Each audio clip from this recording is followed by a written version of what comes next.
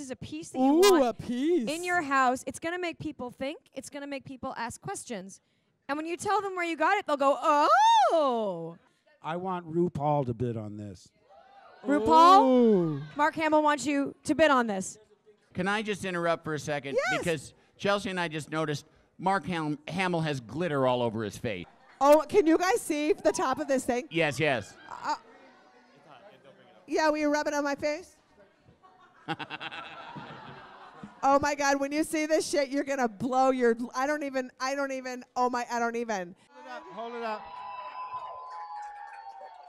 It is Now- a customized I know there's a. stormtrooper You're probably helmet. too, Bum, young bum, to- bum, bum, too young bum, bum, to bum. reference, but I said it's as if uh, Carol Channing was a stormtrooper.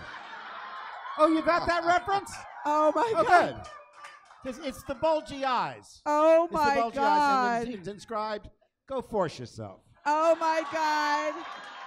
Thanks for having me. Mark Hamill. Thanks These for items. having me. Charitybuzz till I wouldn't February be here if 14th. it weren't for strong women. Oh. I had four sisters and two brothers, but it was boy, girl, girl, me, girl, girl, boy. So I was bookended with four really strong women.